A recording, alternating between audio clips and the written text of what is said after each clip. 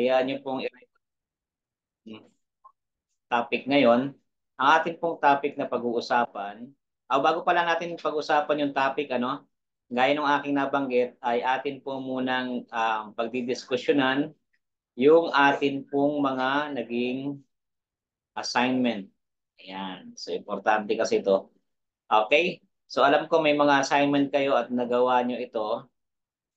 Ang nagpasa sa akin ay si Brother June, si Sister Jacqueline, at si Brother Johnny. So, siguro unahin natin ito pakinggan natin yung kanilang mga sagot dito. So unahin siguro natin si Brother Jun muna. Ayan. Para at least mat matuto tayo sa kanyang ginawang research. Sa number one siguro muna tayo. Tama po no, nagsagot kayo rito, si Brother Jun.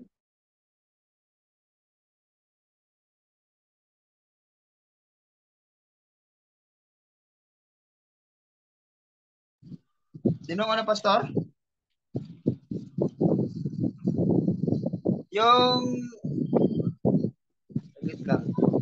Yung sagot ko kasi nasa cellphone eh. Saglit lang ha. Uh, yung tanong. Ah, Jesus break the Sabbath by plucking green on the Sabbath. Ako ba, Pastor? Ako? Ako po ba sa sagot? Apo, kayo po muna. Okay.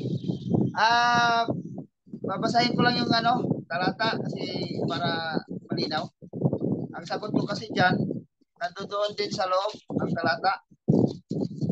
Ito, sa sabi ko sa ano, ang sabi ko dyan, ay hindi po sinira ng Panginoon ang sabat.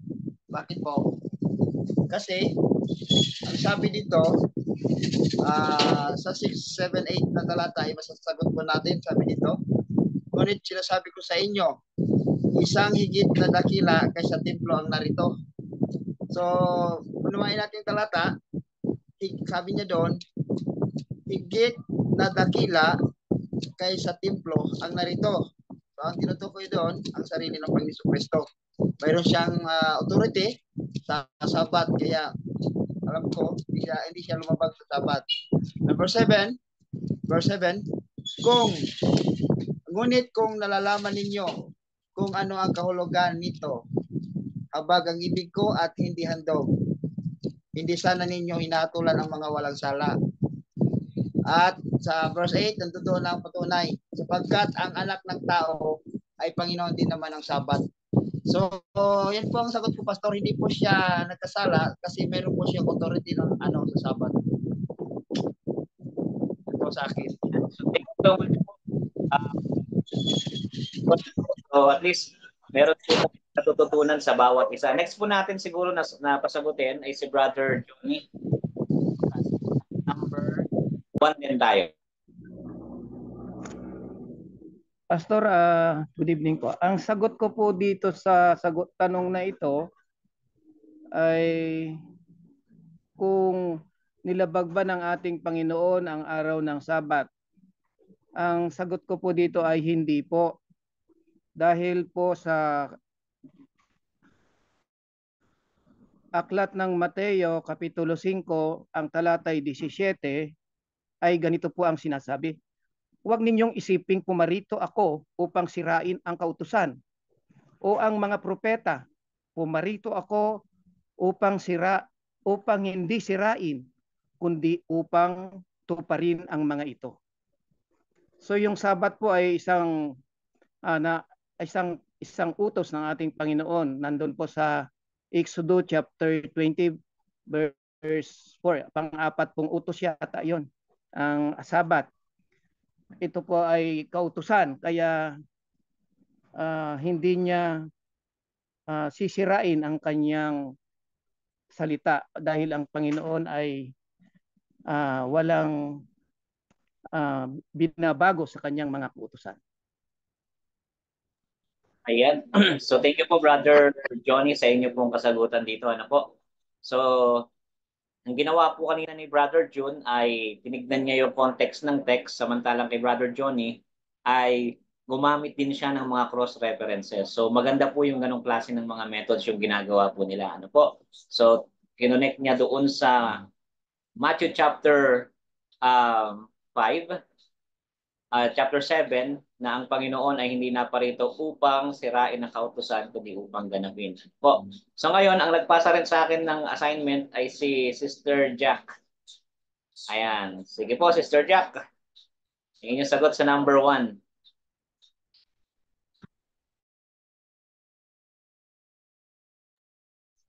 Uh, good evening po. Bali yung sagot po sa one, halos same lang din naman po sa kanila na answer po doon is no.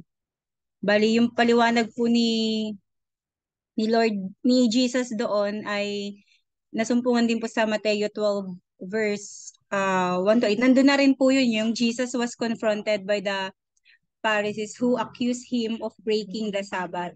So Jesus responded by stating that plucking grain on the Sabbath does not profane sacred wheat. So, yun din po, Pastor. Bali, uh, halos same lang din naman po nung sagot po nila.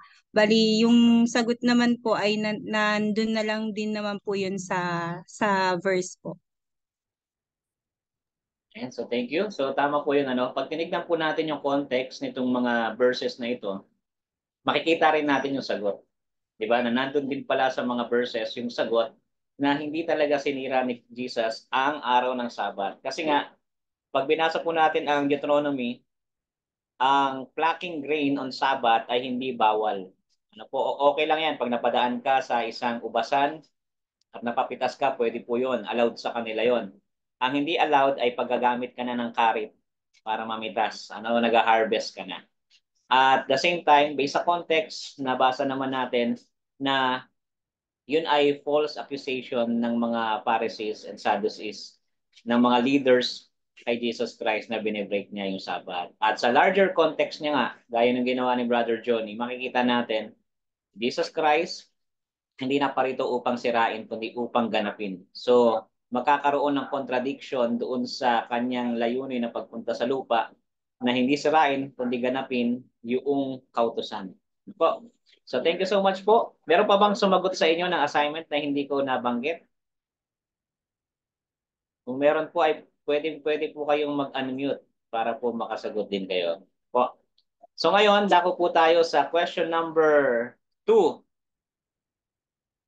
Ah, sige, unahin natin ulit si Brother June. Ano po ang sagot niyo rito based sa inyo pong assignment? Pwede niyo pong basahin. Okay. Uh, did Jesus break the Sabbath by performing healing on the Sabbath in Matthew 12, 9, 13 and John 9, 16?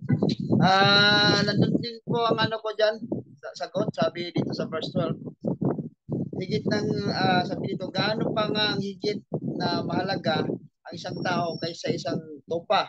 Kaya ang gumawa ng matuwid sa araw ng Sabat ay hindi kasalanan. Sabi dito, ang matuwid na gumawa ng mabuti sa araw ng Sabat. Sabi dito. Wala dito ah. So, malinaw na ang sabi ng Panginoon, ang Panginoon mismo ang nagsabi dito eh, na sabi niya, uh, kaya't matuwid na gumawa ng sabat. Ang pagpapagaling po mga kapatid ay ito po ay mabuting gawain. Maraming pinagaling ang Panginoon sa araw ng sabat. Kaya hindi po siya uh, hindi po niya sinira ang araw ng Sabat. Yun po ang ano ko, Pastor. Papasok din doon sa binanggit ni Jesus Christ. Hindi ito upang sirain, kundi upang ganapin ang kautusan, di ba? So therefore, wala talaga siyang paglabag na ginawa doon. Isa pa, uh, yung John 9 verse 8 ay ito, ng mga laban kay Jesus Christ ng mga Pharisees. Ano po? Ay para sa kanila, sabi nila, ay hindi galing sa Diyos to. Kasi sinisira niya ang araw ng Sabat. Pero alam naman natin, kung siya ay hindi galing sa Diyos, sinira niya talaga ang Sabat. Pero dahil siya ay galing sa Diyos, therefore, hindi niya sinira ang araw ng Sabat. Okay po, so dako na po siguro tayo sa question number 3. Dahil mabilis din yung ating oras. So siguro question number 3, itanongin naman natin ito kay um, Mr. Jack.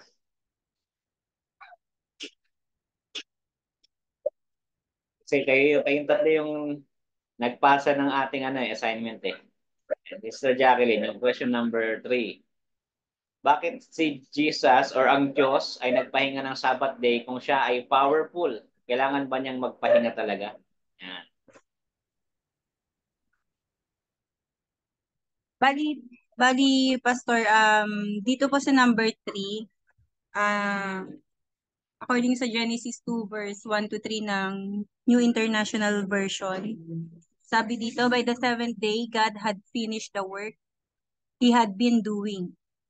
So, on the seventh day, he rested from all his work. So, nagpahinga po siya ng um, pagsapit ng ikapitong araw. Then, God blessed the seventh day and made it holy because on it, he rested from all the work of creating that he had uh, he had done. So, yun po yung um, answer ko po. Okay po. So, thank you so much po. Brother Johnny, tanungin din natin si Brother Johnny sa question number 3. Ah, sa pangatlong katanungan po, ang sagot ko po dito, Pastor Melvin, ay ah, Jesus wants to show how to obey the Sabbath day. Then, ito po ay mayroon po akong talata sa Marcos 2:27 hanggang 28 at ito po ang sabi. At sinabi niya sa kanila, ang Sabat ay ginawa para sa tao at hindi ang tao para sa Sabat. Kaya't ang anak ng tao ay Panginoon maging ng Sabat. Si Jesus po talaga yung author ng Sabat. Ah, kaya nais niya talagang ipakita kung paano natin respetuhin ang araw na kanyang pinagkaloob sa atin bilang paggalang sa kanya. Yun lamang Pastor. Ayan. So, thank you po. Ano? So, sa madaling salita ay sample yung ginawa ng ating Panginoon para tayo rin ay mag-keep ng Sabat at mag-rest sa araw ng Sabat from our labors and the work. So, ngayon po mga kapatid, um, sa sa Tuesday, doon po natin tatalakayin yung ating assignment nung last time about Matthew 24 verse 34. So sa mga hindi pa po nakagawa ng assignment, isesend ko po ito ulit and then pwede po kayong mag-send sa akin ng inyong pong mga sagot dito. Ano po? Para nang sa ganun ay makapag-sharing tayo tungkol sa inyong sagot. Yung ating assignment last time ay ah ito ba ay false prediction about sa second coming ni Jesus Christ? Kasi ang sabi niya, this generation will not pass away till all these things take place. So siya ba ay, kasi wala na yung mga kausap niya nung time na yon. Wala na, hindi pa rin dumarating si Jesus. So ito ba ay hindi talaga naganap? O ano ba talaga ang nangyari? Po. So ngayon, ngayon po ay dadako po tayo sa ating pinaka main topic ngayong panggabi. Maganda po ang topic natin sapagkat ito ay isa sa seven um, distinct doctrine ng Seventh-day Adventist sa mga other denominations. Ano po? So ito po ay merong title na Sanctuary and Atonement. So yung atin pong tatalakayin ngayon ay part 1 pa lang siya. Yung part 2 po nito ay tatalakayin natin sa season 2. Ano? Dahil meron tayong mga topics kasi na sinusundan, ay season 2 natin tatalakayin yung part 2 nito. Ngayon ay parang pinaka-introduction to the Old Testament Sanctuary Service yung ating magiging topic ng ating pag-aaralan. Kaya um, maganda rin, pwede kayong magkaroon ng advanced study patungkol dito para nang sa ganon ay ma-appreciate din ninyo yung kagandahan ng doktrina ng Sanctuary and Atonement sa Old Testament. So ngayon mga kapatid, ah uh, dito po sa ating topic, gusto ko pong makita natin na ang mga Israelites, mga kapatid, ang isa sa kanilang pag-ikot, yung kanilang buhay ay umiikot dito po sa sanktuaryo. Kasi nung sila po ay nilabas sa Egypt, pinagawan sila ng Diyos ng sanctuary dito sa lupa, ang sanktuaryo mga kapatid ay nasa pinakakalagitnaan ng kanilang kampo. Ibig sabihin ay nakasenter doon yung kanila talagang mga buhay. So tingnan natin, pag-aralan muna natin yung origin ng sacrificial system. So kung titignan po natin, yung sacrificial system sa Old Testament ay nagpasimula siya right after the fall. Ibig sabihin ng fall dito mga kapatid, pagkatapos na magkasala si Eva at si Adan ay nagpasimula ng magkaroon ng sacrificial uh, system.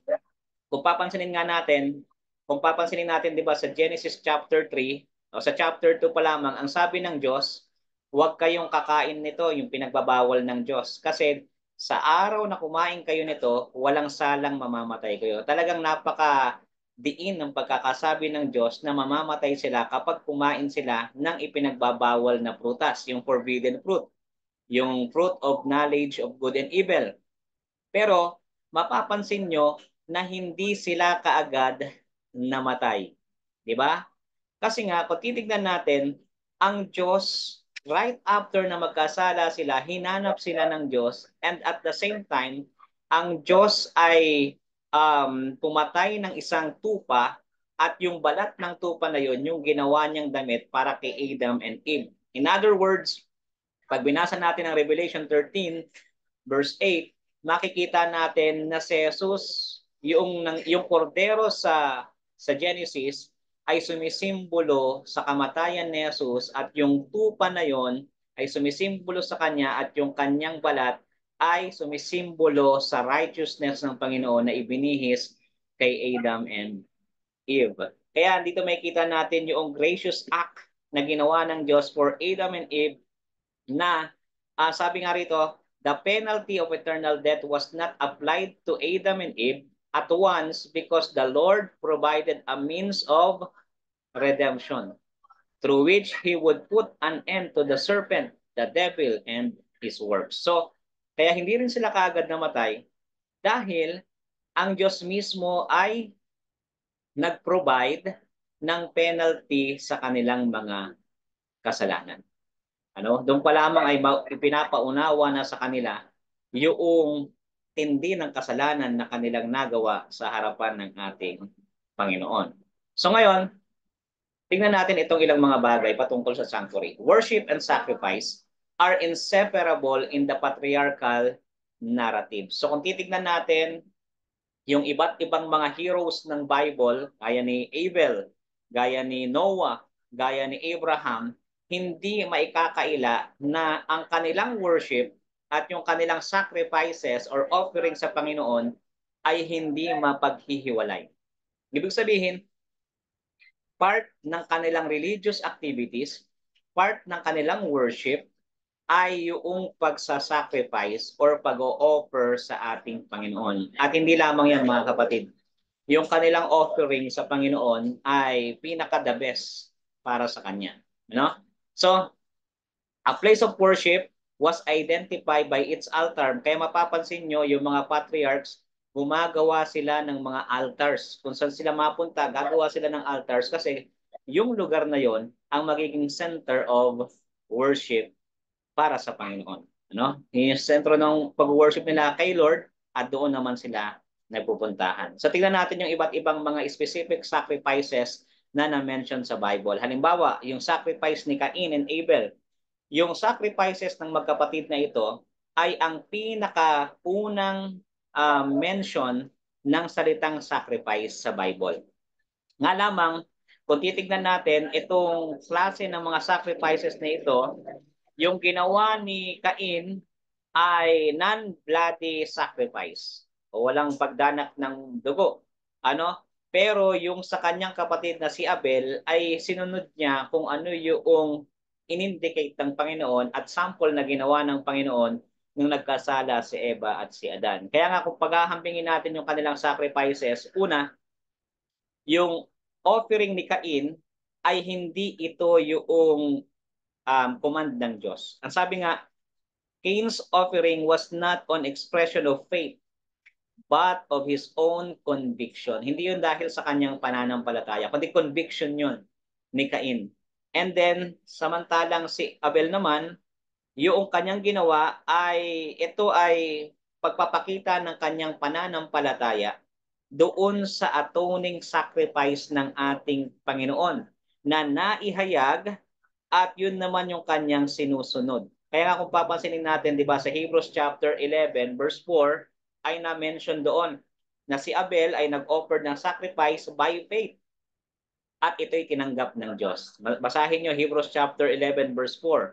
Um, na-mention doon na by faith nag-offer si Abel ng sacrifice at ito ay tinanggap ng Panginoon. So, papansinin natin, offering a sacrifice required the combination of proper inner attitude and obedience to external ritual. Sa madaling salita, kapag ikaw pala ay mag-o-offer sa Panginoon ay yung yung nangyari kay Cain at kay Abel pinapakita sa atin na dapat pala merong right attitude ang isang tao na mag-o-offer sa ating Panginoon. Ano? Ang application niya sa panahon natin ngayon, um, kaya ka mag-o-offering hindi para mag-impress ng kahit na sino man, kundi para mag-glorify ang Panginoon at ito ay para sa ating Panginoon. Po, kaya tinanggap yung sacrifices ni Abel. On the other hand naman, eh, dito naman sa sacrifice ni Noah, mapapansin natin na ito yung pangalawang na mention yung word. Ano? O ito yung pangalawang occurrence na nabanggit itong sacrifice na ito. At kung papansinin nyo, itong ginawa ni Noah ay expression of gratitude for loving care for Noah and his family. Kaya niya kaya siya nag-offer ng time na yon dahil nagpapasalamat siya sa Diyos dahil niligtas sila mula doon sa malaking baha na naganap sa buong mundo. Ano? Um, sa madaling salita, kung papansinin natin, yung kay Abel, right attitude, ito yung command ng Panginoon, yung ginawa naman ni Noah ay expression niya ng kanyang pagpapasalamat part siya ng kanyang worship. Di ba? Part ng worship ang sacrifices and offering. Sa atin, may kita natin ang application nito sa atin sa iba, ang ginagawa ay kapag na-bless sila ng Panginoon or pag birthday nila, ay nag-offer sila sa Panginoon, di ba? Lalagay sila, nagdadagdag sila ng panibagong offering specifically for um, gratitude sa ginawa ng Panginoon na after a year ay may panibagong lakas at buhay sila. Ayan. At ngayon, tingnan naman natin yung kay Abraham. Yung kay Abraham, kung papansinin niyo po, ang offering na ginawa ng Diyos kay uh, offering na ginawa ni Abraham sa uh, Panginoon, una, ang sinabi ng Diyos sa kanya ay dalhin mo si Isaac na iyong anak.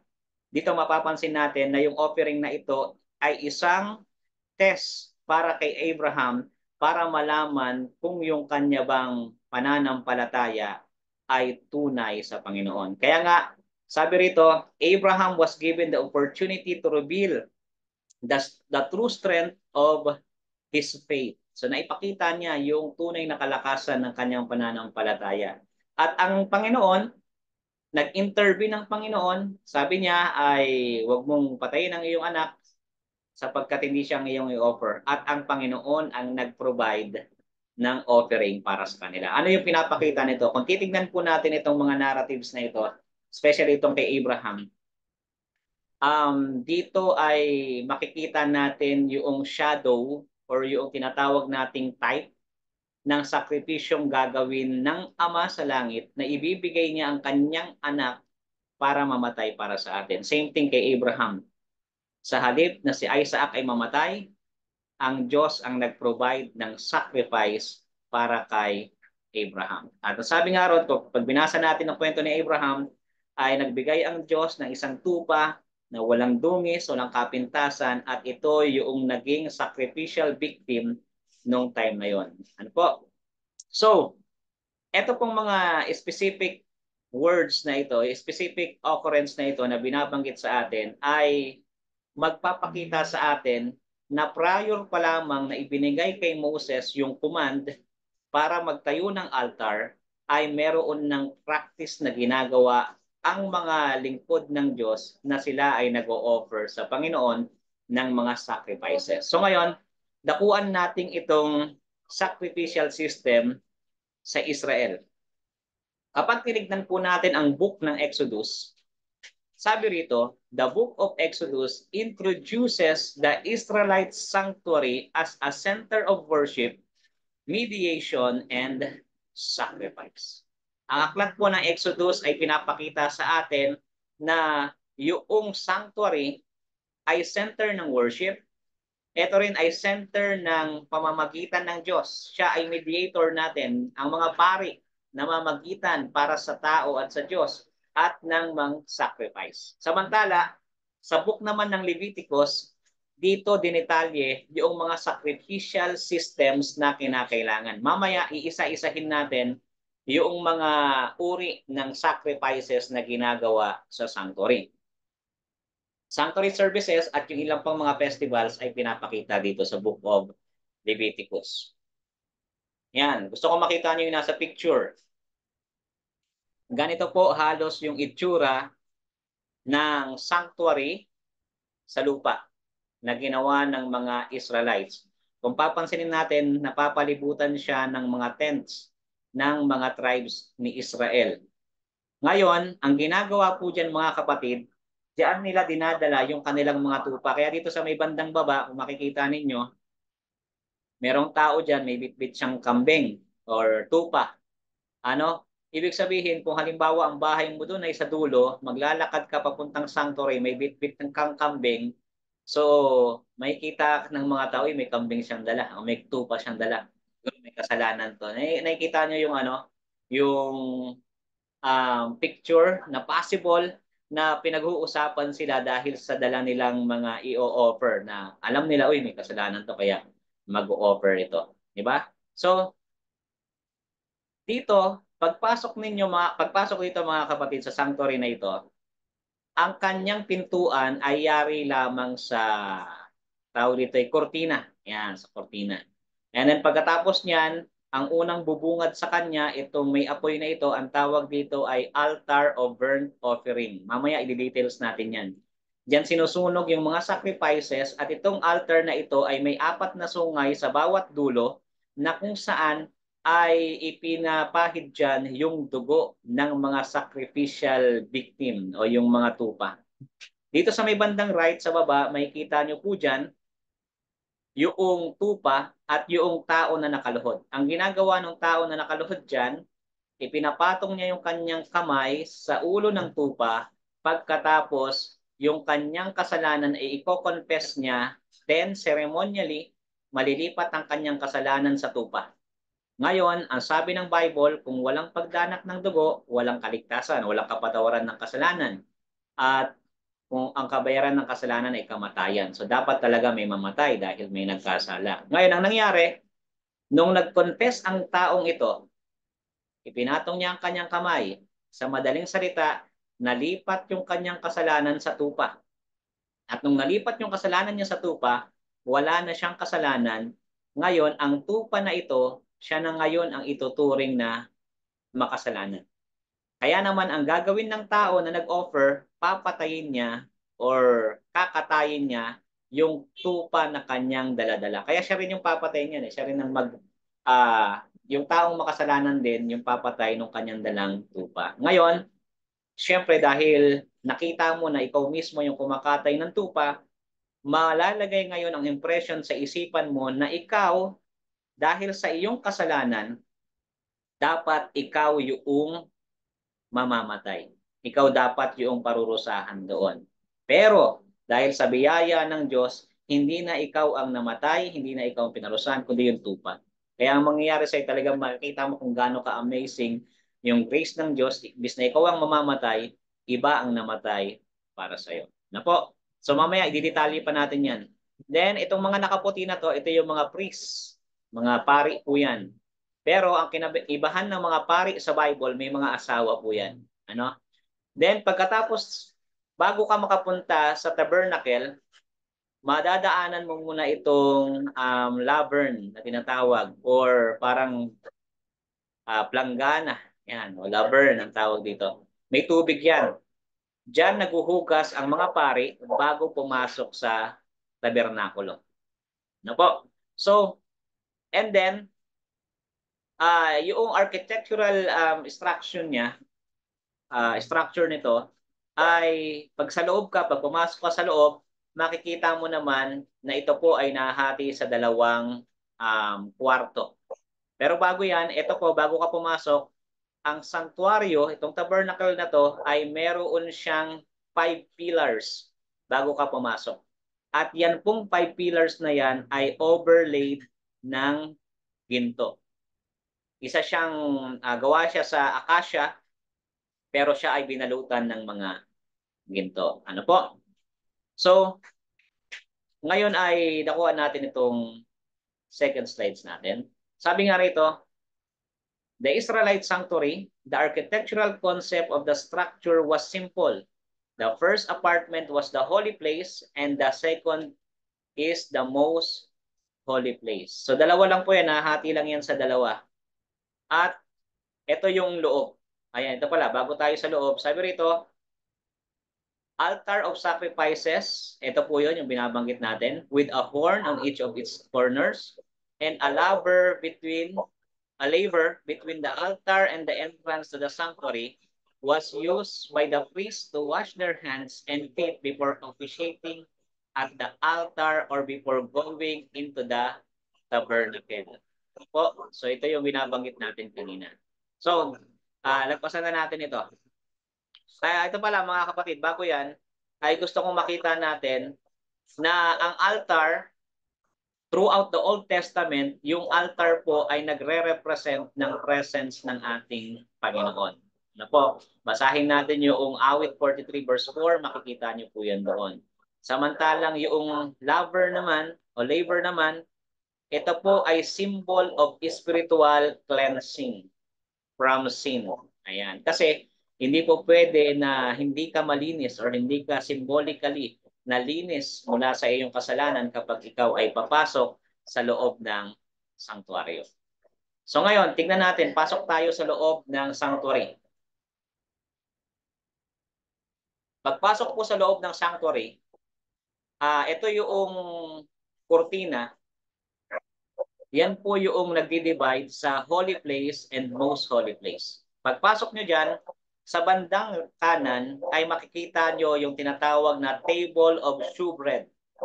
Ito pong table of shewbread ay meron po yung 12 loaves ng bread.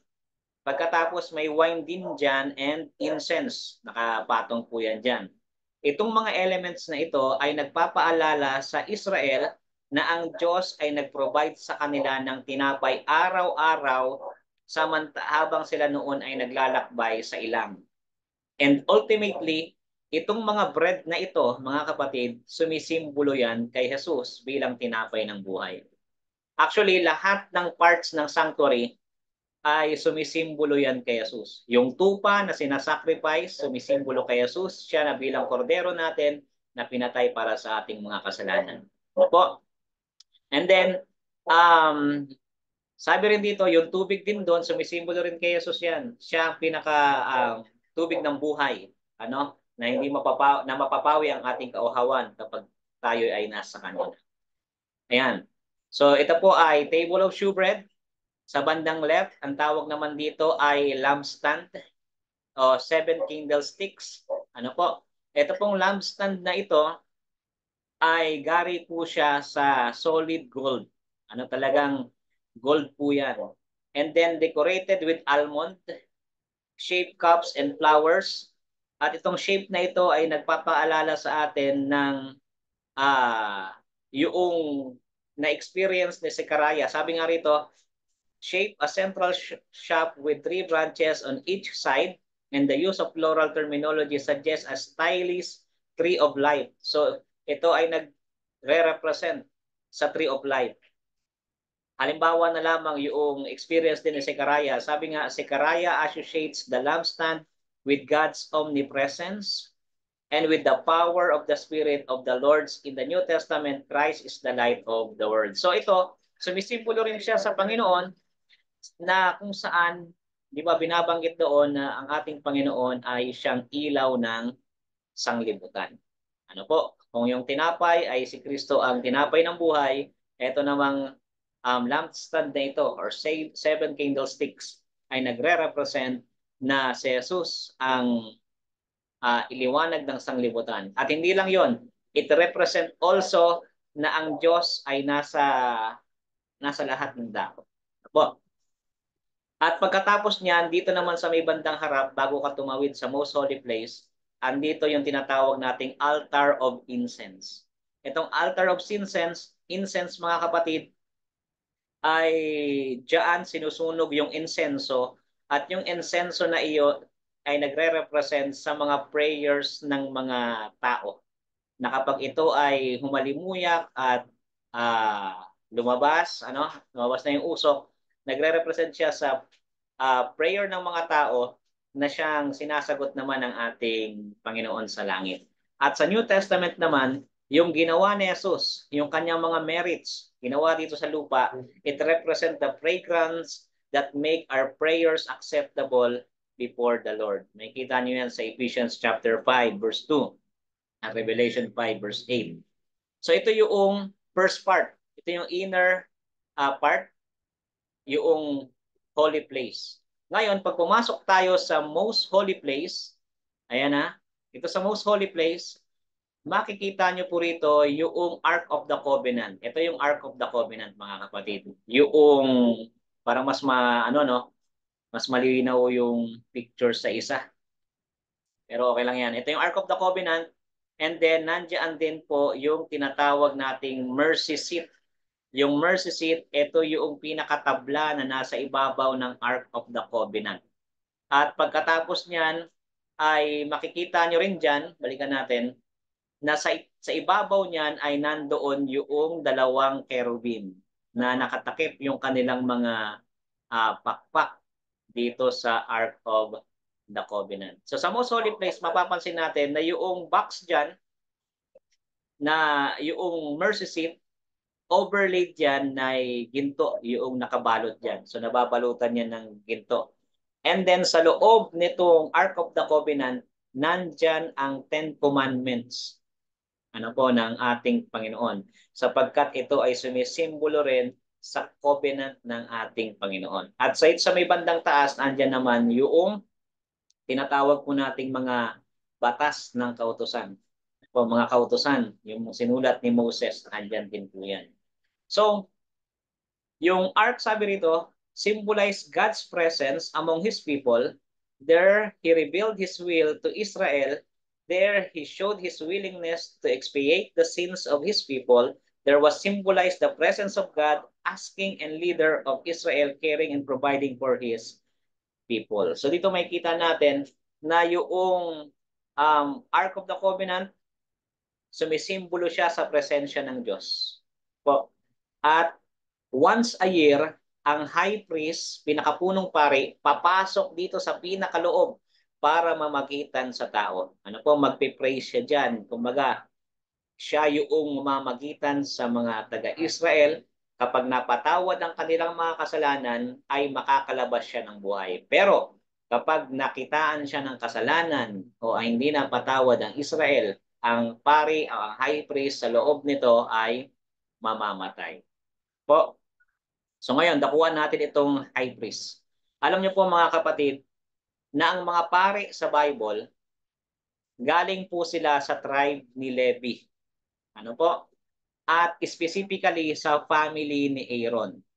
Sapagkat sila lamang yung tribe na natiling tapat sa Panginoon during ng Golden Calf incident sa Mount Sinai. Di ba nasa taas ng bundok si Moses? Nakikipag-usap sa Diyos, ibinigay sa kanyang Ten Commandments, and pagbaba niya, sumasamba na yung mga tao sa sa Golden Calf. Di ba? Pero yung tribe lamang ni Levi ang hindi sumamba doon. Kaya sila yung napili. Kung titignan nga natin, mga kapatid, ang gusto talaga ng Diyos, ang mga pari ay manggagaling sa lahat ng tribe. Lahat ng panganay ay magiging pari sana yan. Ano po? Para may representative bawat tribe. Nga lamang dahil hindi naging loyal ang ilan at si Levi lamang, yung, yung tribe ni Levi ang na, napiling tapat, sila yung napili bilang mga siwa ng sanktuaryo. Yung mga Levites, sila yung nagdadala ng mga gamit, sila yung nag, nag didismantle o kaya naman ay nagtatayo, nag-instruction yan kasi dinadala nila yan eh, sa kanilang paglalakbay eh. And then doon naman sa family mismo ni Aaron, mga Levites din sila, doon naman galing yung mga pare. Ano po? Kaya ang nangyari niyan, yung priesthood naging hereditary ngayon, belonging exclusively sa family ni Aaron. Samantalang yung ibang mga tribe, meron din naman silang mga specific um, tasks na ginagawa sa sanctuary. Po. Ngayon, ang pari ay may dalawang klase ng representation na ginagawa. Ano po? Una, ang pari ay representative ng Diyos sa tao. Pangalawa, ang mga pari ay representative ng tao sa Diyos. So yan po yung dalawang function ng isang pari or ng high priest. Sila yung representative ng Diyos sa tao at sila ta, sila rin yung representative ng tao sa Diyos. Kaya kung papansinin niyo yung incarnation, si Jesus Christ nung siya ay nagkatawang tao, siya yung naging representative ng Diyos sa tao. Kaya nga sabi ng Bible, si Jesus Christ yung exact representative ng Ama. And then dahil siya nga ay nag-Diyos na nagkatawang tao, siya naman yung ating representative sa Diyos. Kaya naman si Jesus lang yung pinaka may karapatan at kakayahan na mamagitan sa tao at sa Diyos kasi siya ay both human and divine. Ano po? So bilang representative ng Diyos sa mga tao ay mapapansin natin na ang isa sa pangunahing gawain ng mga priest or high priest ay ang magturo ng kautosan. Ang tawag diyan ay Torah. Ano po? Yung um, Old Testament laws or yung five books of Moses. Yung Torah, yan ang kanilang gawain. Ituro ang kautosan. At pagkatapos niyan, sila ay nagpapakita rin or dahil sila ay representative ng Diyos, ang ginagawa ng mga tao pag lumalapit sa kanila, inaalam nila kung ano ba yung kalooban ng Diyos sa kanila. Ano ba yung approval ng Diyos sa kanilang gagawin. Halimbawa, yung ginawa ni David, um, nung hinabol nila yung mga kumidnap sa kanilang mga family, kung naalala niyo yon doon sa Brook Bisor, ang sabi niya, tara mag-inquire tayo sa Panginoon. Kaya nung nag-inquire sila, gumamit ang high priest ng Urim and Tumim dalawang klase ng bato na kung saan ay doon nakikipag-communicate ang Diyos. Hindi ko alam yung hindi dinitalye ng Bible kung paano siya talaga nag-work. Pero um, malalaman nila sa pamamagitan ng Urim at Tumim kung nag-response ba ang Diyos sa kanilang prayer na oo, na okay, nagbigay ba ng approval o kaya naman ay hindi. Ano po? So yun ang gawain ng mga high priest. As a representative of God, tagapagturo sila ng kautosan And then sila yung nagsasabi kung ano ang will ng Diyos para sa mga tao. Na po. Ngayon, bilang representative naman ng tao sa Diyos, ay ito po ay uh, nagre-represent siya doon sa mga suot ng pare eh. Kung mapapansin niyo itong pare na ito, meron siyang suot, yung sa balikat niya, yan po ay onyx stone po yan. Dalawa yan. Sa kabila, nakasulat diyan yung anim na pangalan ng tribes ni Israel at sa kabila naman yung anim, kaya labing dalawa yan. And then yung nasa dibdib niya, ito ay breastplate, iba't ibang klaseng mamahaling bato yan. Nakasulat din diyan yung pangalan ng mga tribes ni Israel.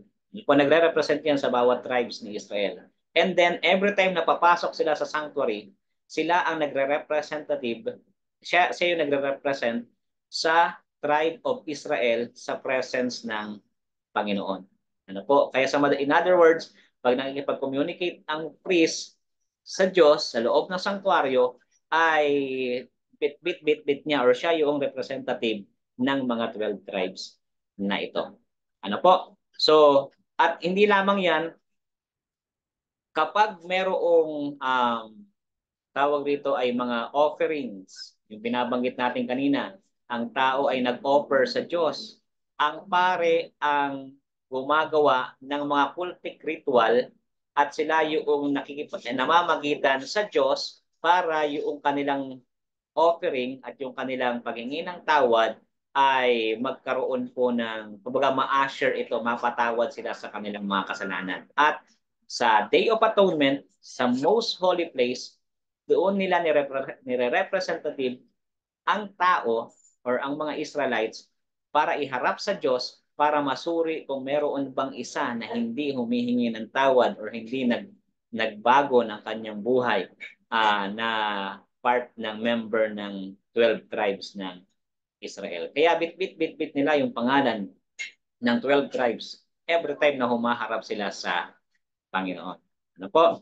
So, sabi nga, bilang representative ng tao sa Diyos, sila po ay allowed na pumasok sa most holy place at least once a year doon sa tinatawag na Day of Atonement. Atonement.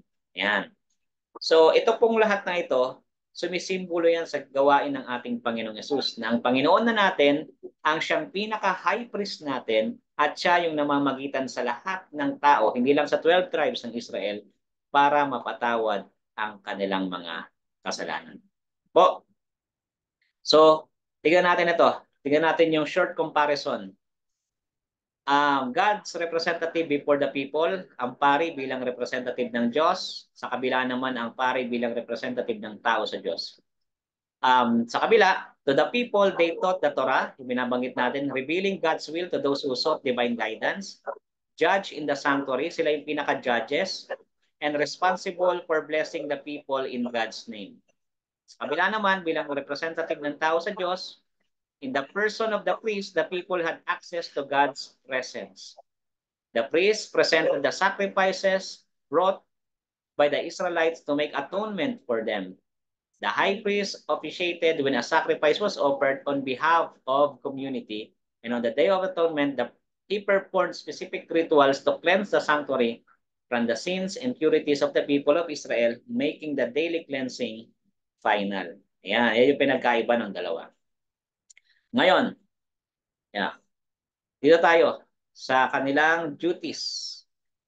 The duties of the priest and high priest pointed symbolically to Christ as our mediator before the Father. Ayan po yung pinaka-duties nila at yung sumisimbolo sa gawain ng ating Panginoon. Ngayon dako tayo sa sacrifices and offering. Ito yung maganda tong part na ito. Matututo tayo ng mga uh, ng reasons kung bakit ba sila gumagawa ng ganong klaseng mga offering. Ano po?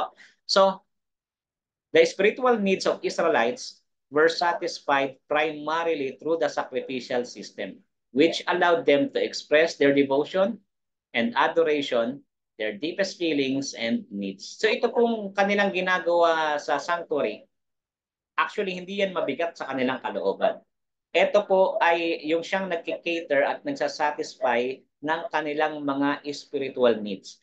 And through this system, na-express nila yung kanilang devotion, yung kanilang paghanga sa Diyos, at yung kanilang malalim na damdamin uh, sa kanilang Panginoon or sa ating Panginoon. No po? Ngayon, merong at least uh, five na klase ng mga sacrifices and offering tayong pag-aaralan. Po? Number one dyan, yung burnt offering, peace offering, pangalawa, third, sin offering, fourth, guilt offering, at number five ay meal offering. At mamaya makikita nyo yung allusion nito doon sa tatlong um, patriarchs na uh, pinag-usapan natin kanina sa ginawa ni Abel, ni Noah at ni Abraham. So unahin na nating pag-usapan itong burnt offering. Ito pong burnt offering mga kapatid, sa Hebrew, ito ay ola. Nang ibig sabihin ito ay ascending offering. So kumbaga umaangat na or pataas na offering ito ay totally burned on the altar. Ibig sabihin, walang natitira dito sa burnt offering. Hindi lahat ng part niyan uh, ino-offer talaga. Inaano yan, sinusunog yan. So, the person who brought it laid the hand on the head of the victim. Ang ginagawa ng taong nagdala, ilalagay niya yung kamay niya doon sa tupa. Ano po? At ihahanda ito uh, and prepared the animal for the priest to perform the blood ritual and the place the sacrifice on the altar. Ngayon po, ito yung ano eh, basahin natin siguro para mas ma-appreciate nyo to. Buksan nyo po yung Bible nyo sa Leviticus uh, ah, 1, verse 3 hanggang 5. Sige, pabasahin natin siguro dito si Brother Johnny. Leviticus chapter 1, verse 3 hanggang 5. Ano po ang sabi diyan?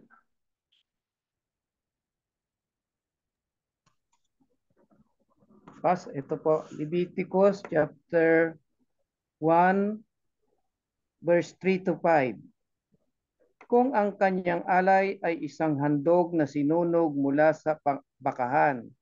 Mm. Mag-aalay siya ng isang lalaking walang kapintasan at ito'y kanyang dadalhin sa pintuan ng toldang tipanan Mm. upang siya ay tanggapin at hara, har- sa harapan ng Panginoon. Ipapatong niya ang kanyang kamay sa ulo ng handog na sinunog at ito'y tatanggapin para sa ikatutubos niya. Verse 5. At kanyang papatayin ang toro sa harapan ng Panginoon. Ang dugo ay ihahandog ng mga anak ni Aaron na mga pari at iwiwisik ito sa palibot ng dambana na nasa pintuan ng toldang tipanan. Ayan. So, dyan po, nakabase itong pinag-uusapan natin na ah magdadala sila ng alay, pagkatapos kanilang ipapatong yung kanilang kamay doon at pagkatapos yung dugo ay mamaya pag-uusapan din natin yan, ito naman ay ibinubuhos doon sa ah doon sa altar of burnt offering and then yung ilang part ng dugo ay iwiniwisik naman sa sanctuary at pinupahid naman doon sa sungay ng altar of burnt offering. Ano po? So sabi pa rito, this sacrifice could be a votive. Ibig sabihin ito, maaaring sacrifice na mo ay vow mo ito. Ano po, nag, nag-vow ka sa Panginoon na gusto mo mag-offer. At ito ay maaari ding free will offering. Ano, kusang handog. It was also an expiatory offering. Pag sinabi nating expiatory offering mga kapatid, itong burnt offering na ito ay meron siyang effect or kakayahan na magpawi ng ating mga kasalanan. Ibig sabihin, na ang ilan na ay ang ilan gagawin nito, mag-o-offer nito para mangusap sa Panginoon na mapawi at mapatawad yung kanilang mga kasalanan. Now, which the person was accepted before the Lord. In Samuel 13:12, the burnt offering was associated with the idea of entreating the Lord. Kumbaga, nangungusap ka, nakikiusap ka sa Panginoon. A phrase often used in the context of God's anger or displeasure. Yan, yan yung burnt offering. So, ah sabi pa nga rito, itong burnt offering na ito ay nasa context din siya ng propitiation, ibig sabihin ay pag-aalis ng kasalanan, pagpawi ng galit ng Diyos, at ito ay isang expression of worship, gratitude, thanksgiving, joy, and total dedication of the offerer to God. Uh, since the individual was constantly in need of forgiveness, it also means of expiation. Yun yung binabanggit natin. So, sa kanila, um, kaya sila nag-o-offer sa Panginoon ng mga ganito dahil sa kanilang pananampalataya at pagsamba. Ang nakakalungkot sa panahon natin ngayon, parang napakahirap mag-offer sa Panginoon, mag-offer kahit nasa offering, di ba? Parang minsan naka, parang hirap mag-offering sa Panginoon.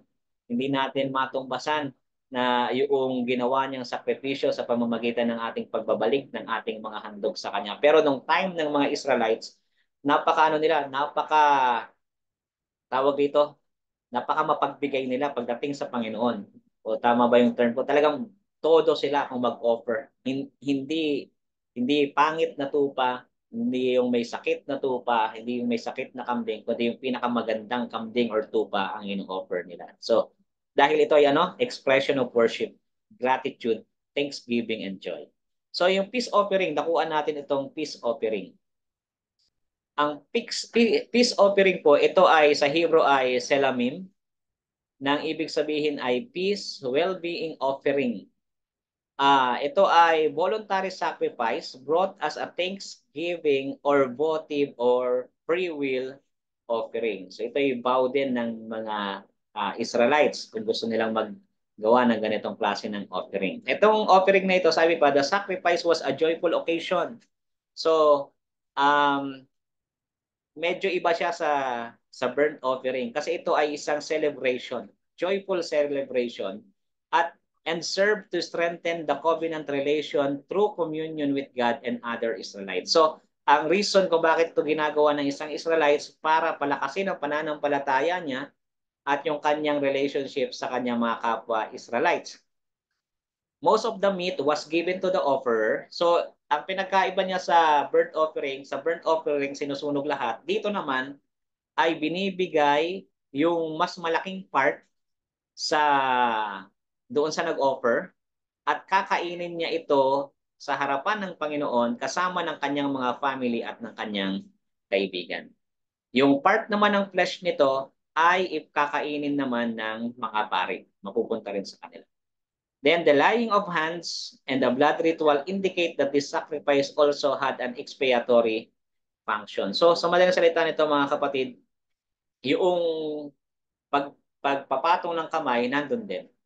At ito ay nagpapakita rin ng expiatory function. Yung sabihin ng pumapawing pumapawi ng kasalanan ng offerer. No? Sa kanyang mga unintentional sins, ano, pumapawi rin ito ng kasalanan. Okay? So, dako tayo rito sa uh, tinatawag nating sin offering. Yung sin offering naman na ito, mga kapatid, was a sacrifice for removal of sin. So, ito ay pag-aalis ng kasalanan. At meron itong dalawang klase. Una, kapag ang pari or ang community ang nagkasala ng unintentional. Pangalawa naman, kapag ang isang uh, layperson, individual ay nagkasala unintentional. Ibig sabihin, kapag aware ang priest na nagkasala siya, nag-offer din sila kasi hindi sila perfect. Ngayon, kapag halimbawa, gaya natin, mga lay, layperson, nagkasala tayo, ay meron ding ibang procedure na ginagawa doon. So, ito yung procedure doon kapag ang pari ang nagkasala. So when a priest brought the sacrifice, the blood was sprinkled inside the tabernacle. Ayan. So, ang gagawin kapag ang pari daw ay nagkasala, daladala niya yung dugo sa loob ng sanktuaryo at yung ilang mga dugo nito ay ipapahid niya doon sa altar of incense. Incense. Ano, una iwiwisik niya yan sa harapan ng altar doon sa loob sanktuaryo. And then yung ibang dugo ipapahid naman niya doon sa altar of incense. Ayan. So yung rest of blood ay ibubuhos naman niya doon sa paanan or sa base ng altar of sacrifices sa labas. Ano po yung nasa labas naman? Doon niya ibubuhos sa base nun. Uh, and the flesh of the animals was burned outside the sanctuary. So sa labas, i-burn yun. O doon sa altar of uh, sacrifices naman, i-burn yung tupa na kanilang in-offer. Kapag ang isang lay person naman ang nagkasala, so in the case of lay person, some of the blood was applied to the horns of the altar of burnt offering. Ito yung binabanggit ko kanina. Kapag lay person na nagkasala, sa halip, yung sa pare, sa loob. Diba? Sa loob niya pinahid sa sungay ng altar of incense. Pag ang lay person, sa labas naman, sa sungay din ng altar of burnt offering. And the rest was poured out at the base of the altar. So pareho din na doon naman sa baba ano po sa base ng altar ibubuhos yung ibang dugo. Some of the flesh was eaten by the priest. Kakainin naman ito ng priest. This sacrifice expiated any unintentional violation of the covenant law. So, sa madaling salita, ay mapapatawad yung kasalanan, unintentional sin na nagagawa ng isang tao. Po? So, ito, ito pong klase ng offering na ito according sa Leviticus 5 verse 1 to 6 ay nakakapagpatawad din siya or nakakapagpatawi din siya ng mga intentional violation ng mga tao. Ano yung intentional mo? Kahit intentional sin, napapatawad dito. Kasi yung mga binabanggit sa Leviticus 5 verse 1 to 6, eh, mga intentional sins naman yun. Eh. So, sabi nga, intentional sin was not outside the expiatory function of the sacrificial system. Only high-handed sins were not forgiven because the individual broke completely from the Lord. Sa madaling salita, uh, kahit yung mga intentional sin napapatawad. So ang hindi lang mapapatawad dito, yung mga high-handed sins gaya noong pamumusong sa banal na espiritu. Ano? Uh, basahin natin yung Numbers 15 verse 30 para siguro maging click ma-identify natin ito. So, nandito si Brother Oliver. Brother Oliver, pwede mo bang basahin ang Numbers 15 verse 30 para mapakinggan din natin lang.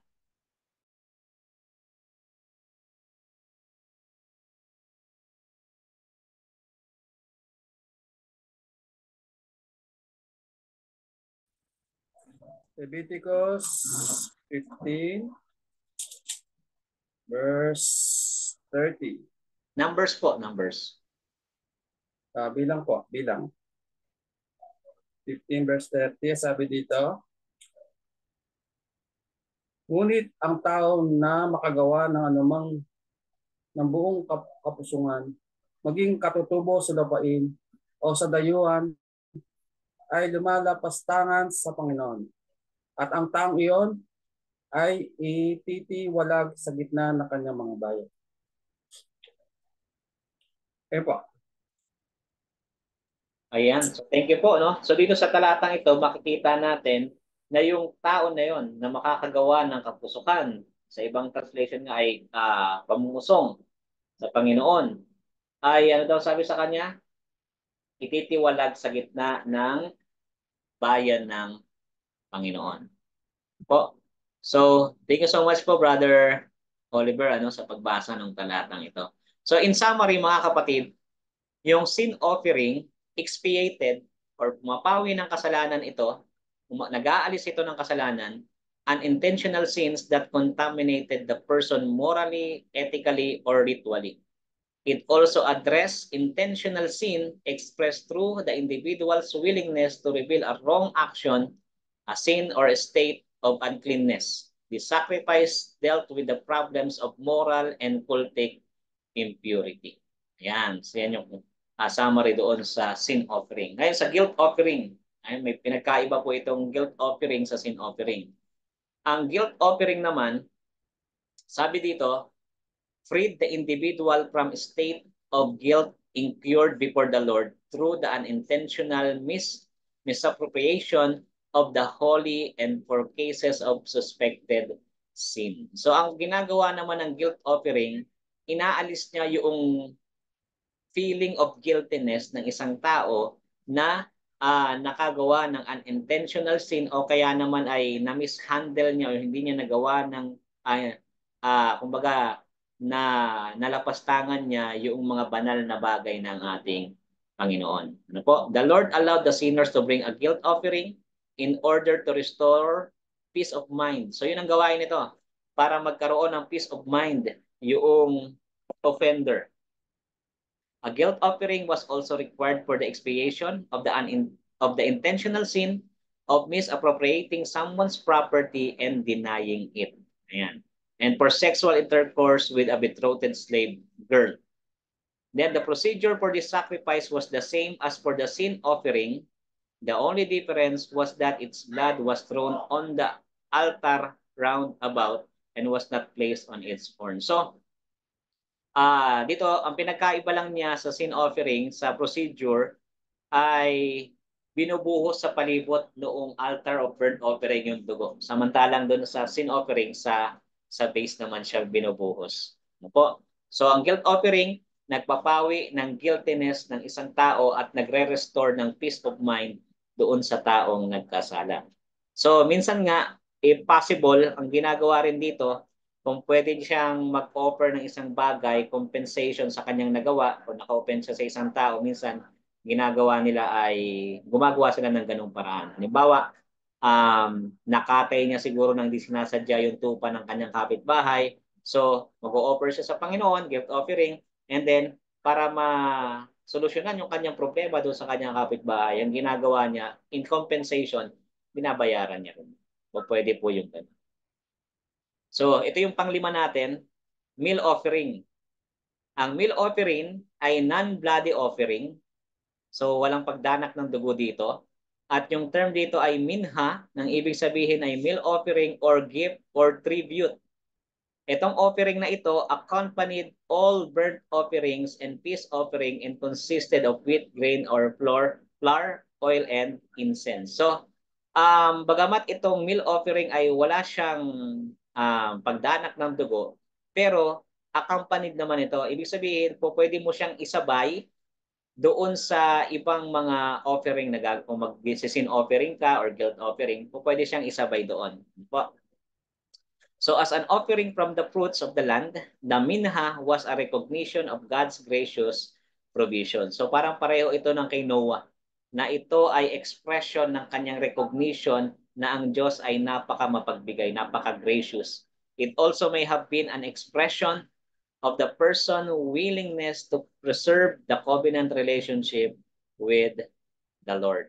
Yan. So yan po yung yung lima na uh, offerings na ginagawa doon sa loob ng sanctuary. Sabi nga, the various sacrifices indicates that the sacri that that, that the sacrificial system addressed all the spiritual needs of Israel.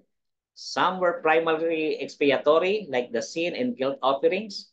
Others did not emphasize expiation, although they did atone for the individual. Uh, gaya ng iba't ibang mga offering, gaya nitong peace offering. Ano po? So, sa madaling salita mga kapatid, yung iba't ibang klase ng sacrifices na ginagawa sa sanctuary sa Old Testament ay ina-address nito ang lahat ng mga spiritual needs ng bayan ng Israel. Kung sila ay nagkasala, uh, kapag sila ay guilty, kapag sila naman ay gustong magpasalamat sa Diyos, ay meron silang expression na maaring gawin through sacrificial offering na ginagawa sa sanctuary. Ano po? At sabi pa nga, yung adoration nila, yung consecration nila at pagpapasalamat nila, devotion nila, lahat ng mga yan ay makikita natin sa expression ng sacrificial system. Kaya napaka-importante sa kanila nitong sistema na ito na ginagawa ng Old Testament. Ano po, dito na umiikot ng kanilang buhay dahil ang gusto nila magpasalamat at i-glorify ang Panginoon. Kaya kung papansinin po natin, napakayaman ng theology ng kanila pong sacrificial system sa Old Testament. Ngayon, magandang makita natin na ito pong klase ng sacrificial system na ito ay yung kanilang ginagamit na sabihin nating pansamantalang solution sa sin problem, sa problema ng kasalanan. Sabi nga, God desired to forgive the sin of His people and showed it through the sacrificial system. So dahil gusto ng Diyos mapatawad at maunawaan ng tao yung plan of salvation, ibinigay niya yung sacrificial system sa Old Testament. Yung pagpapatawad ng Diyos, the forgiveness and cleansing needed by repentant sinners was provided at the sanctuary. So sa ganitong paraan mga kapatid, kung titingnan natin, kung i-appreciate talaga natin at hindi natin titignan bilang burden yung sacrificial system na ginagawa sa sanctuary, ay ma-appreciate natin na ito ay blessing or out of grace ng Panginoon. Kasi po pwede naman na hindi niya na ipakita yung ganitong klase ng sistema, alisin na lang niya, patayin na lang niya ang tao, pero hindi ganon. Kundi para maunawaan ng tao, ang sanctuary ang pinaka-pictorial aid para maunawaan natin kung ano yung plano ng Diyos sa kaligtasan.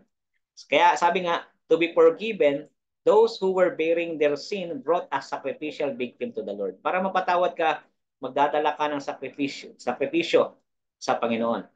Itong sacrificial system na ito, ang function niya at ang gustong ipaunawa sa atin ay yung redemptive and legal frame of reference which took seriously any covenant violation. So ipinapakita sa sanctuary yung kaseryosohan ng kasalanan ng tao na may dapat talagang mamatay at dapat mo talagang pagbayaran ang kasalanan mo sapagkat nalabag mo ito in the presence of a holy God sa ibang mga napapanood ko sa mga uh, palabas na may hari, kapag nakapagsalita ka ng inappropriate sa presence ng king, pinapatay nila kagad eh. So dito, kung uunawain natin, tayo ay nagkakasala sa harapan ng divine na Diyos, banal na Diyos.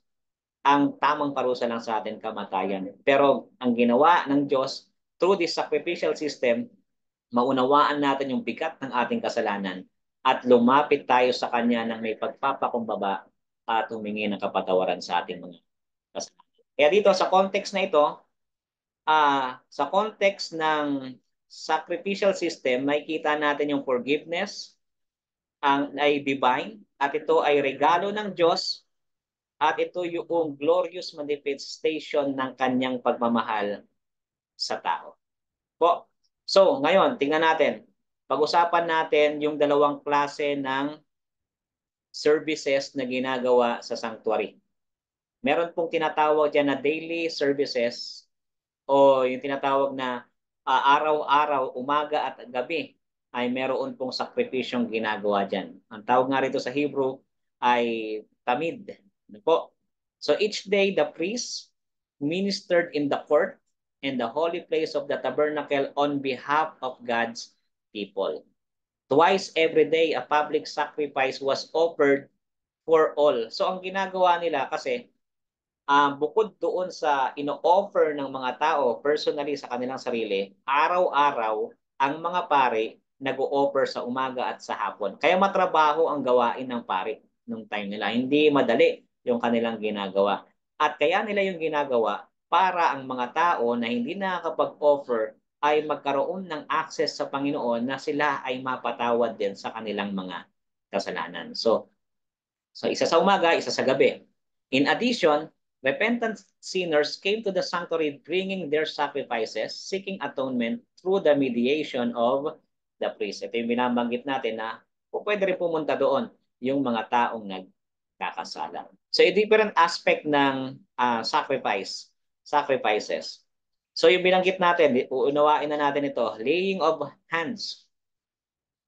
Um, ang ginagawa rito mga kapatid, kapag pinapatong ng isang tao yung kanyang kasalanan doon sa tupa, ceremonially, yung kanyang kasalanan malilipat na ngayon doon sa tupa.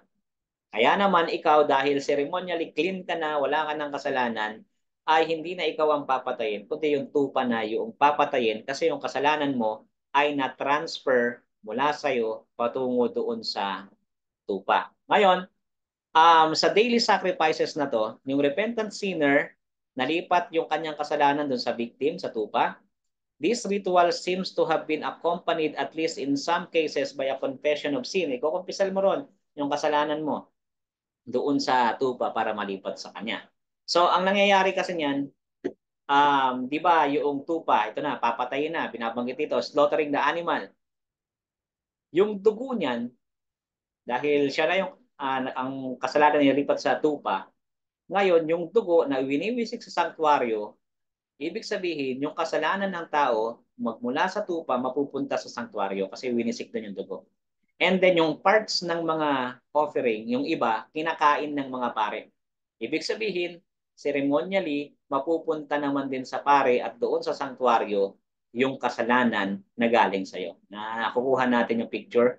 So, sabi rito, slaughtering the animal, the sacrificial victim was usually killed by the offerer. So yung nag-offer ang papatay nun. Although sometimes the priest slaughtered it. Sin and penalty cannot be separated from each other. Sin was transferred uh, to the sacrifice as was it penalty. Ngayon, dito tayo sa ritual of the eating of flesh. Ito na yun, binabanggit natin. According to Levitical legislation, a portion of the flesh of the sin offering belonged to the priest and was be eaten in a holy place. By eating the flesh of the sacrificial victim, the priest bore the sins of the people and thus made atonement. So malilipat ngayon yung kasalanan sa pari. The, this vicarious act did not affect his holiness. So bagamat nalipat sa kanya ceremonially yung kasalanan, it doesn't mean na hindi na siya banal. This, the sinner came to the sanctuary bearing sin and transferred it to the sacrificial victim.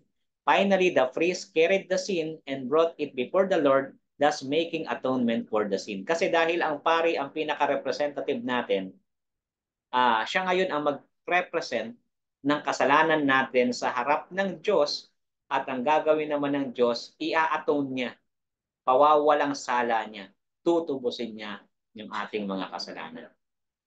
Whenever a priest brought a sacrifice for his own sin, he was not allowed to eat the flesh of the sacrifice. He would could not bear his own sin without dying. Kaya naman pag ang priest naman na nagkasala, hindi naman niya kinakain yun. Uh, totally burned naman. Blood ritual. The blood of some sacrificial victim was taken into the holy place by the priest and sprinkled seven times in front of the veil. So yun ang ginagawa. Yung dugo, seven times niya na winiwisik sa harap ng kortina sa loob po ng holy place. Sprinkling could mean consecration, or cleansing. Yun yung sinisimbolohan ng pag spring sprinkling ng dugo ng animals. Whenever the flesh was not eaten, the blood was taken to the holy place, making these two rituals interchangeably.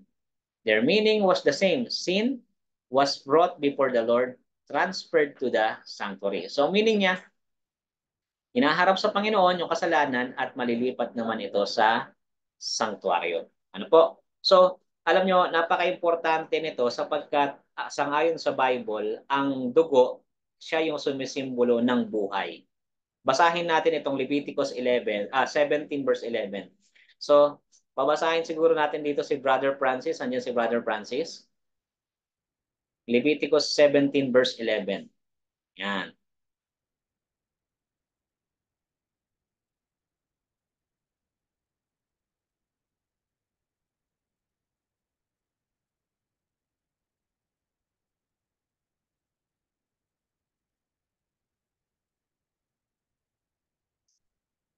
Okay, so hindi po ba kayo, Brother Francis? Okay, so pabasahin na lang po muna natin si Brother June Tero. Yan. Leviticus 17 verse 11. Anong chapter, Pastor? 17 verse 11 po. Tingnan niyo po, ayan. Tingnan niyo po rito mga kapatid yung uh, kahalagahan ng dugo sa sakripisyo. Leviticus uh, chapter 17 verse 11 sapagkat ang buhay ng laman ay nasa dugo at aking ibinigay sa inyo sa ibabaw ng dambana upang ipantubos sa inyong mga kaluluwa sapagkat ang dugo'y siyang tumutubos dahil sa buhay. Pastor. Ayan. So thank you so much po ano. So dito makikita natin uh, na yung buhay ay nandoon sa dugo. At ibinigay ito ng Diyos para nang sa ganon ay makita natin at ma-appreciate natin kung gaano kaseryoso itong ritual na ginagawa na ito. Po, sabi nga, for the life of the flesh, buhay ng isang laman, is in the blood and I have given it to you upon the altar to make atonement for your souls. Para maging katubusan siya sa ating mga kaluluwa o sa ating mga buhay. For it is the blood that makes atonement for the soul. So, dito, yung daily burnt offering, uh, there was always a burnt offering on the altar on behalf of the people of Israel, suggesting that the daily acceptance of the nation by God was made possible through the sacrificial lamb on the altar. So, maaari silang lumapit sa Panginoon araw-araw. Sila tinatanggap ng Diyos araw-araw dahil sa daily burnt offering na ginagawa. As a nation, ang Israel depended on the constant expiatory power of this sacrifice. So, doon sila nakadepende sa uh, nag-a-atone, ano po, tumutubos na kapangyarihan ng atonement na ginagawa. Yan. So, Tingnan natin itong transfer and contamination. Nakikita nyo rito yung transfer and contamination. There is a sense in which the transference of sin in connection with the daily sacrifices did not contaminate the victim, the priest, or the sanctuary. Ito maunawaan natin eh, na kahit na um, na-transfer yung kasalanan sa tupa, sa pare o sa sanktuaryo, hindi ito nakakaapekto sa kanilang kabanalan. Ano po? Ito ang tawag rito ay paradox. Ano? Paradoxical yung pinapaunawa rito. Parang kabalinto na na ka lang, contaminated siya ng sin pero hindi siya uh, may kasalanan siya pero hindi siya contaminated parang ganun. Um, sabi diyan, sin was transferred to the sacrifice, na ililipat ito sa sacrifice to the priest to the sanctuary, but they are all remained holy. Ano po? In the context of atonement, holiness and sin, life and death, purity and impurity are brought together in an unfathomable paradoxical relation. Ito hindi mahirap mahirap unawain dito sa sanctuary na bagamat sila ay nailipat ng kasalanan dito sa mga ito, pero at the same time, they remain holy sa Panginoon. The Lord brings them together and out of this encounter, atonement and forgiveness emerge victorious. The holy instrument came into contact with the unclean and yet remained holy, providing a remarkable prefiguration of mystery of Christ's sacrifice. Di ba? Bagamat dinala ni Jesus yung kasalanan natin, uh, bagamat siya yung pinako dahil sa ating pagkakasala and yet hindi naman siya nagkasala. Ano, itinuring lang siyang parang nagkasala on behalf sa atin. Bo, kaya naman yung daily services uh, contributed to the resolution of sin problem by providing for the individual and the nation a daily means of atonement. Ang ginagawa ng daily services, yung uh, pang-araw-araw nilang pag uh, pag-offer sa Panginoon ng mga priest sa umaga at sa hapon ay para magkaroon ng pang-araw-araw na katubusan ang bayan ng Israel. Uh, sa pamamagitan ng sakripisyong ito, ang mga pari ay namamagitan sa mga taong makasalanan at sa pamamagitan ng kanilang sacrificial victim, yung inoffer nila, ay pinapatawad ng Diyos ang kasalanan ng mga tao. Po, sa madaling salita, God assumed responsibility for sin in the sense that He was willing to bear the iniquity, the transgression, and the sin of His people through forgiveness. So sa madaling salita, pinapatawad ng Diyos, willing ang Diyos na patawarin ang mga tao uh, sa kanilang kalikuan, kasalanan, at mga uh, pagkakamaling nagagawa sa kanyang harapan. So ganyan kabuti ang Diyos. Ano? Yun yung pinaka-pictorial aid or PowerPoint na ginawa ng Diyos para maunawaan ng mga Israel yung kaseryosohan ng kasalanan at kung bakit ito kinakailangang tanggalin at pawiin ng ating Diyos. So, bukod dun sa daily services, merong annual service, yung Day of Atonement na tinatawag. Sa Day of Atonement, once a year itong ginagawa. Ang tawag nga rito ay Yom Kippur. Once a year, yung high priest ay papasok siya sa most holy place at sa araw na ito, ang mga Israelite ay kumbaga ito na yung pinaka-climax eh. Kasi ang mangyayari niyan, yung pang-araw-araw na services, hindi talaga niya totally naaalis ang kasalanan. Ang kasalanan nananatili sa sanktuaryo. Ano po, yung kasalanan na nasa pari, malilipat sa sanktuaryo. Yung kasalanan na nasa tupa, malilipat sa sanktuaryo kasi winiwisik din yung dugo. Ngayon, sa madaling salita, ang sanctuary ay na-transfer sa kanya yung kasalanan sa loob ng isang taon. Kaya once a year, kinakailangang linisin ang sanctuary sa pamamagitan ng Day of Atonement. Kaya sabi diyan, the sanctuary was to be cleansed because of the uncleanness of the people of Israel and because of their transgressions and their sins. The, uh, the accumulation of this term for sin designates all kind of sin. Lahat ng kasalanan yan ay aalisin, papatawarin, tutubusin sa araw ng uh, Day of Atonement, araw ng katubusan. Yung ritual sa Day of Atonement ay para i-purified ang sanctuary, ang altar, at itong ritual na ito ay ang magbe-benefit nito ang lahat ng mga tao at sila ay ito yung pinaka-final cleansing na tinatawag. Ano po? Ngayon, dito, ang Diyos ang pinaka-judge dito sa Day of Atonement. In the sanctuary, ang function ng Diyos ay para hatulan ng kanyang mga bayan, ang kanyang tao. Sa awit, sa aklat ng awit, makikita natin yan, pinoportray ang Diyos bilang judge. The Day of Atonement was a holy convocation, a day when people were to afflict or humble themselves. Kailangan magpakumbaba ang lahat ng tao sa araw na yan kasi pag hindi, ang high priest mamamatay doon sa loob. Kapag mayroong isang kasalanan sa tribes ng Israel, na hindi naalis at napatawad, yung high priest sa loob ay hindi makakalabas. On the Day of Atonement, the Israelites felt and expressed their dependence on God and their desire to preserve the covenant relationship with the Lord because only He could make their cleansing final. This day was also a day of rest. Ito po ay ceremonial Sabbath din ito na kung saan ay bawal lumabas bawal gumawa na bawal magtrabaho sa araw na ito. Po,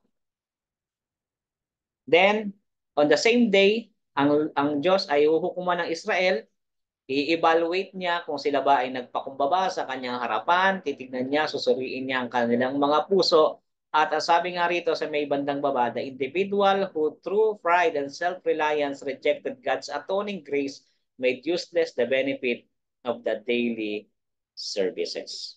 Yan. So, sa uh, Day of Atonement mga kapatid, dito rin ay pinawawalang, kumbaga binibindicate ang Diyos. Pinapatunayan na ang Diyos ay mabuti at walang kasalanan. Ano? Uh, through the daily sacrifices, the confessed sins of repentant sinners were transferred to God's sanctuary. Makikita natin na ang Diyos ay banal at tapat, handang magpatawad kahit anong kasalanan. Sin and impurity were only allowed to come into the very presence of God to make atonement for them. But not even atone for sins could stay in God's holy dwelling indefinitely. As long as those sins remained, the resolution of the sin problem was not yet final. The Day of Atonement proclaimed that the whole holiness and sin, purity and impurity had nothing in common. Kumbaga, inalaw ng Diyos na magkaroon ng kasalanan doon sa sanktuaryo, pero sa Day of Atonement, pinapakita niya na hindi po pwedeng magsama ang kabutihan ng Diyos, ang kanyang kabanalan at ang kasalanan.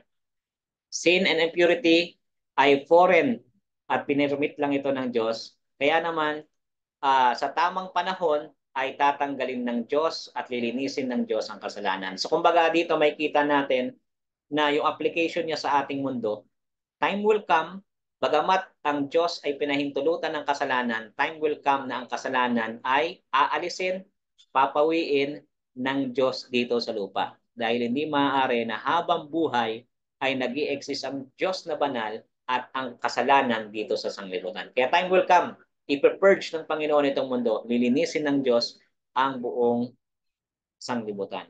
Ano po? So, nakuha natin itong si Asazel. Siguro naririnig nyo na itong pangalang Asazel. Uh, yung pinaka-meaning ng word na Asazel ay hindi talaga tiyak kung anong meaning nito. Pero, baka nagagandahan kayo dyan, ipangalan nyo sa inyong anak. Ito po ay nagre-represent kay Satan or sa demonic being. Sabi nga, sa araw ng paghuhukom, pag ang Diyos, ang kasalanan na ito ay ibabalik ng Diyos sa totoong source at pinagmulan nito. Yung meron kasing dalawang goat diyan, yung isa papatayin, nagre-represent kay Jesus, yung isang goat papatayin siya sa Day of Atonement, and then yung isang goat naman ay nagre-represent kay Asazel, ibig sabihin nagre-represent siya kay Satan. So sa madaling salita, uh, yung kasalanan doon sa first goat represented by Jesus Christ ito yung isasakripisyo, siya yung magbabayad ng kasalanan ng mga tao, and then yung kasalanan ay malilipat nga doon sa sanktuaryo, and then yung kasalanan ng sanktuaryo, ililipat ngayon kay Asazel. Ibig sabihin, time will come, ang kasalanan ng sanglibutan, ibabalik kay Satan, at si Satan ay parurusahan dahil sa kasalanan na ito. Ayan. Itong goat na ito, sabi diyan, bore all the iniquities of the people of Israel. Here, the praise does not mean to bear the sin of someone vicariously, for only here is the praise to bear all their iniquities, followed by a destination of solidarity nan. So ito yung nagre-represent, ang gagawin dyan, yung si Asazel, pag pinasa sa kanya yung kasalanan, papakawalan siya sa disyerto, sa ilang. Nagre-represent kay Satan na pagdating ng panahon, pag tinubos na tayo ng Panginoon, ang kasalanan ay ililipat kay Satan and for 1,000 years, mananatili siya dito sa lupa, mag-isa lang siya. The right of the scapegoat was a right of elimination of sin impurity, not a sacrificial act. Yun po ay isang hindi para patawarin ang kasalanan, kundi para i-eliminate yung originator ng kasalanan. So may kita natin dito na uh, may dalawang klase ng goat or na, yung isa ay goat, yung isa ay tupa. Ano po, tupa sa Panginoon, goat naman ang nagre-represent kay Satan or kay Azazel. Po. Yan. So balikan natin ito. Sabi rito, the placing of sin impurity on the goat representing Azazel indicate the demonic origin of sin and return it to its place of origin. This demonic power, far from being a threat to the Lord, is controlled by Him. Sa madaling salita, Bagamat nagahari ang kasalanan ngayon, it doesn't mean na ang Diyos ay walang control dito. Nasa above pa rin ang Diyos kay Satan. While Israel rests, the Lord reveal His power over evil and demonic forces. The Day of Atonement is therefore a proclamation of God's sovereignty and of the supremacy of holiness over sin impurity. This undoubtedly points to the consummation of God's redemptive plan for the human race through Christ. In summary, mga kapatid, malapit na tayo. Ang daily and annual services ng sanctuary were given in the Old Testament to give solution for the problem of sin. Kaya ibinigay ito para ipaunawa sa kanila ang tungkol sa kasalanan.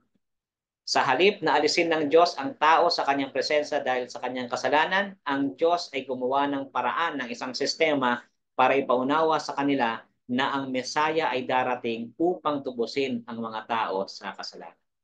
In daily services, the sin impurity transferred through a sacrificial substitute to the sanctuary and the person was left at peace with God. Imagine mo yun na wala, wala nang kasalanan sa iyo, wala ka ng guilt sa kasalanan mo dahil na-transfer na ito sa sanctuary ng Panginoon. Same thing sa atin.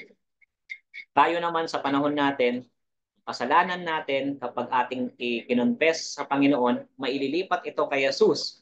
At dahil sa kanyang kamatayan sa cross, nabayaran ng ating mga kasalanan. Kaya tayo, hindi na tayo guilty sa ating mga kasalanan sapagkat pinatawad na tayo ng Diyos sa pamamagitan ni Jesus. Yan. The Day of Atonement, God examined the quality of the faith commitment of His people. Sa araw ng paghuhukom, sisiyasatin niya kung tayo ba ay totoong nananampalataya. Kaya thus, the Old Testament sacrificial system outlined in shadows and types the plan of redemption centered in the coming of Messiah. Sa madaling salita mga kapatid, yung ginawa ng ating Panginoon na sacrificial system sa Old Testament ay nagpapakita ng gagawing pagliligtas ng Diyos sa atin. Ano po? So lahat ng mga yan, mga kapatid, ay tumutukoy doon sa sakripisyo ng ating Panginoon sa kanyang ginawa. Na um, tayo, sa halip tayo ang magbayad ng ating mga kasalanan, ang lahat ng iyon ay binayaran ni Jesus doon sa cross upang mapatawad ang ating mga pagkakasala. So yan po yung kabuuhan ng ating pong first part. First part pa lang po ito ng sanctuary kasi mahaba ito. Second part nito ay sa season 2 natin, mas ididetalyado natin at mas uh, lalaliman pa natin yung ating pag-aaral. So ngayon po, bago tayo dumako sa ating group discussion, Baka meron po kayong question sa atin pong napag-aralan at po pwede nyo po itong itanong at sisigapin ko pong masagot. Any question po mula sa inyo, yung mga nakinig.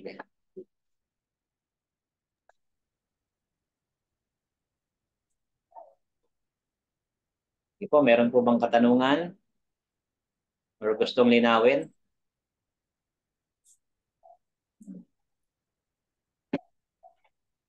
Meron ba? Ako, Pastor, may tanong lang. Sige po. Ah, dun sa pagkakaintindi ko, Pastor, dun sa diniscuss nyo po about dun sa once a year pupunta yung high priest sa most holy place, tama po? Apo. And then, doon malalaman kung ah ano to, kung pinatawad ng Panginoon ang lahat ng nagkasala. Tapos, gusto ko lang i-clarify yung mamamatay yung high, yung high priest pag pag ano nalaman ng Panginoon, tama ba? Clarify ko lang. Apo. So, so during pala that time, pang, uh, pasensya na pastor ha, kasi hindi pa talaga ako ano sa Bible. So during the time, ibig sabihin, nakakausap talaga ng most high priest ang Panginoon? Opo na, actually, nung time naman nila, nakakausap naman nila ang Panginoon. Ah, okay propeta o kaya naman ay ng mga high priests. As okay, okay na. Thank you po. May tanong pa po?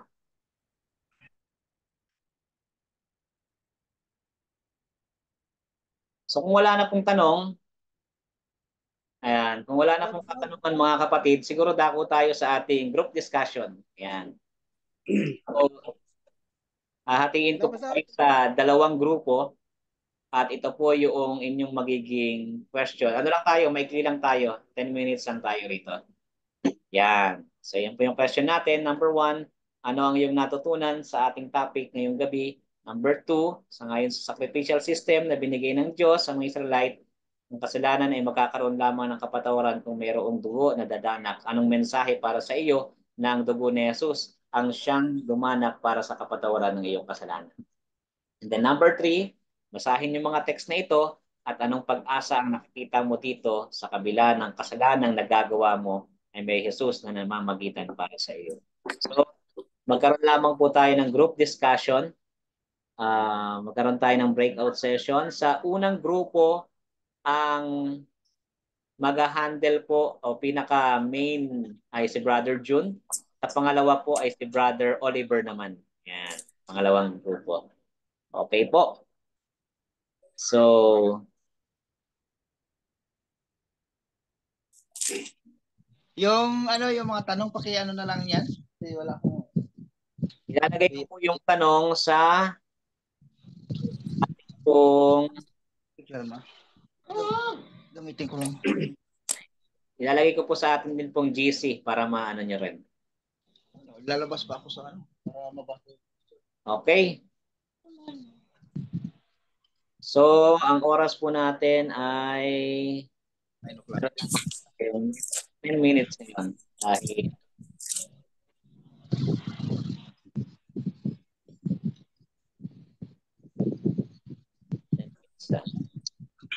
Gawin natin 12 ba?